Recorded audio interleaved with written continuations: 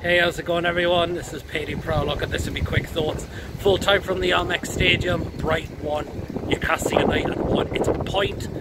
Would have been better to get all three, but I suppose we haven't lost the game because the way Brighton have uh, played this season. But second half it was much better from us. First half, awful. Absolutely awful it was uh, from us in that first half. Really, really was give away a penalty. People arguing that it's not a penalty, it's a penalty for me. Clark uh, clips uh, Trossard and he's been given the penalty. He steps up and puts it down the middle. Darlow had no chance of saving that and you're thinking, here we're going again. Here we go again. And into half time, we're 1 0 down and thinking, what can we do in the second half? Was a lot better in the second half from us.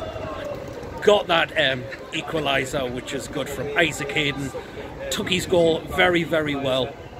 Um, indeed, keeper Sanchez had no chance. And we're back in the game at 1 1. And then you're thinking, right, have we got a chance to try and get, win the game now? And it was a possible appeal for a penalty when Murphy was brought down in the box.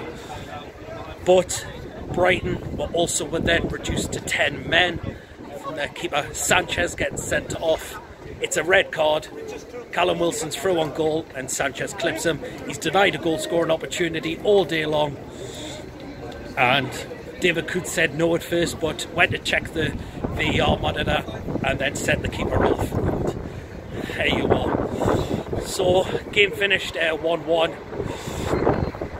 gutted we didn't get the three points of the day, but a point is better than nothing the way we are.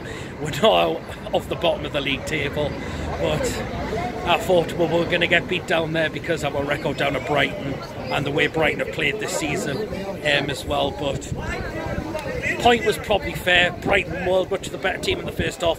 Newcastle really improved in the second half, um, I thought. So that is my quick thoughts. Um, full time from the Amex Stadium again at Brighton 1, Newcastle United 1.